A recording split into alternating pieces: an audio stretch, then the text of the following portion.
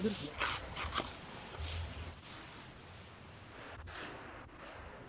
morning mga kabayan.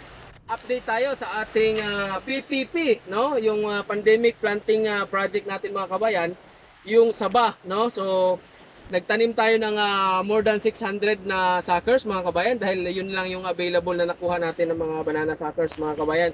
So target natin mga kabayan, di natin nakalimutan na 2,000 banana suckers yung ilalagay natin dito sa farm para ah, makapaparami tayo mga kabayan din. No? Yung ah, magiging suckers nyo ay gagamitin natin para pagtanim dun sa ibang ah, ah, lugar na wala pang ah, saba mga kabayan. So ito mga kabayan, sa likuran ko makikita mo, makikita nyo po na ito yung itinanim namin no? Ah, before 3 months nung ah, aming uh, kasignagan nung ah, pandemic project mga kabayan. Ito na yun, napakataba at napakalusog nung ah, ating ah, banana suckers mga kabayan.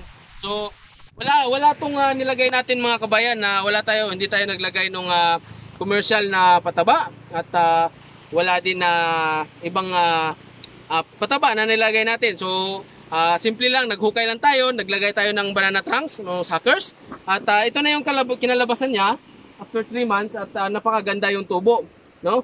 So after siguro 6 months saka tayo maglagay nung ah, ah, yung chicken dung, no? Yung ah, ipot ng manok para magsilbing ah, kanyang ah, natural na fertilizer natin, ilalagay natin diyan. So doon sa may bandang dulo mga kabayan, ah meron tayong inal- inilagay doon na yung yung ah, lumang ah, ah, saba na nakukuha natin dito na nag-iisang ah, banana plank siya mga kabayan at ah, ah, pinarami natin siya at ah, doon natin inilagay doon dahil gawa ng ah, wala wala tayong available dito na malapit sa amin na tissue culture laboratory so ang ginawa natin ay ah, simple lang yo yung pamamaraan na lumang pamamaraan ah, naghukay tayo ng ah, malapit-lapit lang. Ang, ang purpose lang natin doon ay makapagparami tayo ng banana suckers. So, silipin natin yun doon mamaya, mamaya mga kabayan. Pakita ko sa inyo, napakaganda din yung nagiging tubo niya. So, lahat ng magiging suckers noon ay ililipat natin doon sa kabilang ah, parte na wala pang ah, banana suckers mga kabayan. So, mabilis tayo makaparami nito mga kabayan, lalo na itong ah, nabili natin ay ah, ah, ano na, ano, yung mga banana suckers na nabili natin ay ah, kasing ha- taas na nung sa akin. So, madali lang siyang lumaki at kaya nakita nyo, ah, tataas na kasi malaki na siya nung nabili namin.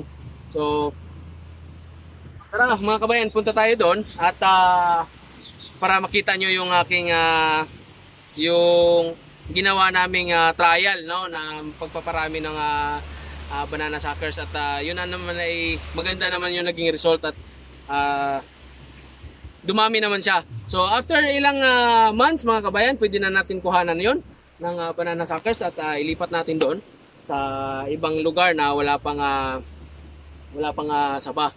So merong isa doon mga kabayan yung sinabi ko sa inyo po na na yung lumang ah, yung panahon pa ng lulo ko na saba banana na lum, napaka lumang variety ay nag, namunga na no nagbunga siya at ah, hindi lang siya gaano kalaki yung ah, bunch ng banana gawa nga nung ah, napakatagal lang napabayaan yun at hindi na alagaan so after nun pag nalagyan natin ng ah, chicken dung yun ay siguradong ah, lalaki yung ah, ano nun yung bunga no? Lulusog.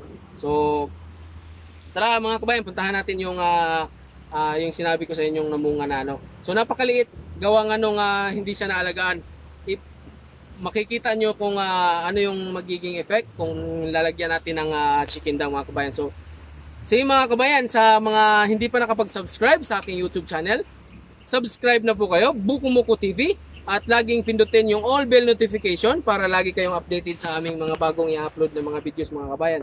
So, sige mga kabayan, enjoy po kayo sa panonood. Maraming salamat po. Let's go. Okay, rolling.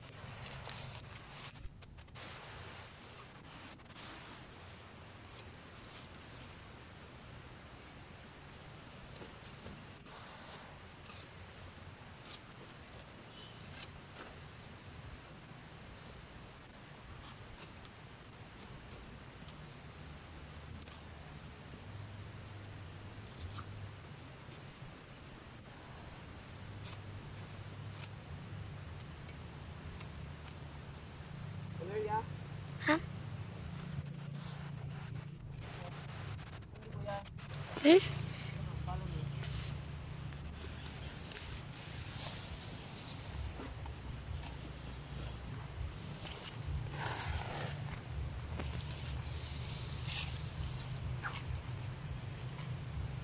Ay, ay, ay, move, move ang camera. Oh. Eh, alam mo,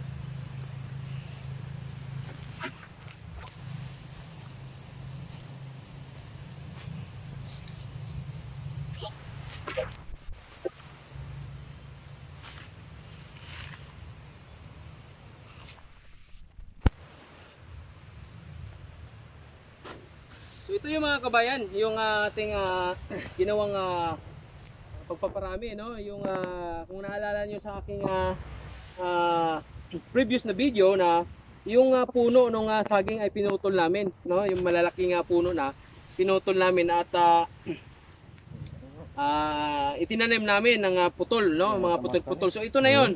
So tumubo siya at ah, meron na agad siya mga suckers na maliliit, no? no yung ah, nagiging kapatid nung ano niya, nung kap- yung ah, kasabayan nung halos nung ano na may mga sucker na, na, siya.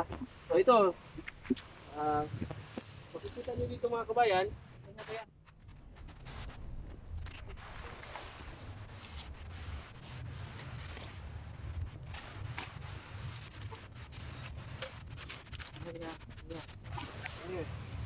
So katulad dito mga kabayan,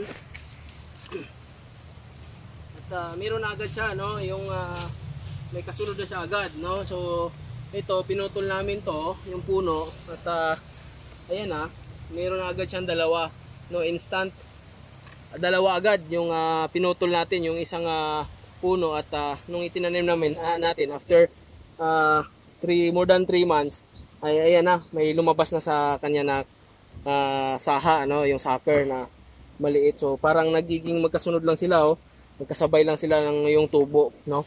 So dito ah ito yung ah, sinabi ko kabayan na ano yung ah, yung lumang o ano yung lumang ah, saging no? Ah, napakatagal na. Ah, nagbunga na siya mga kabayan Ah, yan ito Kaya, ah, mga kabayan. Ayun yun yung ah, yung ah, saging no? So kinuhanan natin ang kanyang ah, puso no? After nung ano. So nag-ewan lang tayo ng mga anim na ba, anim na yung tawag niyan buns ba tawag ah, ano ba tawag niyan? Yung sipi sa amin no? Naiwan lang tayo ng anim.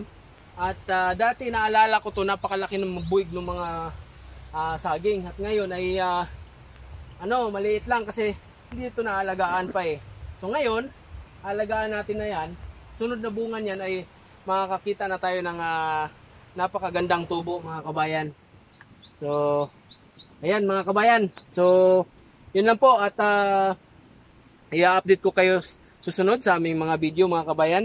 Huwag nyo lang kalimutan i-subscribe yung aming ah, channel Bukumuko TV at laging pindutin yung all bell notification para lagi kayong updated sa aking mga bagong ah, video na i-upload mga kabayan. So ah, mag-comment lang kayo mga kabayan at ah, para makita ko yung ah, ah, inyong mga mabasa ko yung inyong mga comment at ah, sisiguraduhin ko mga kabayan na ah, magre-reply po ako sa inyong mga tanong o kung may nais kayong ah, itatanong sa akin.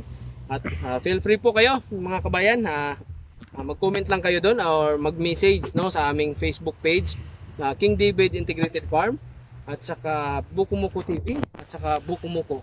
So, yan mga kabayan, maraming salamat po. Bye-bye.